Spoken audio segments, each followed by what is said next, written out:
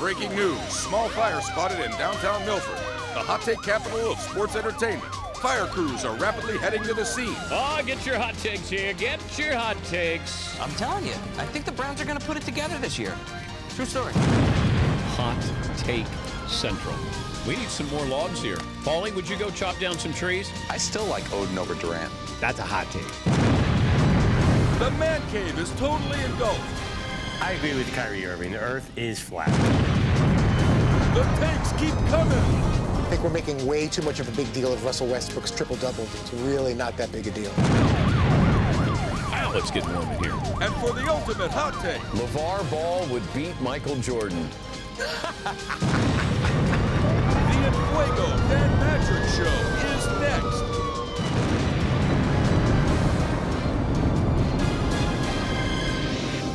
The Dan Patrick Show, weekday mornings on Audience.